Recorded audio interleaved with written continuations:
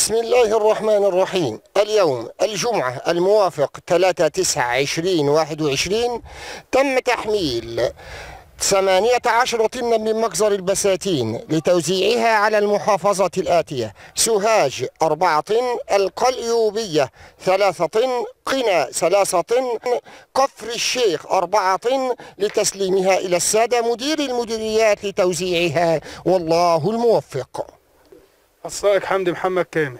الجمعة 3 9 2021 هنا 3 طن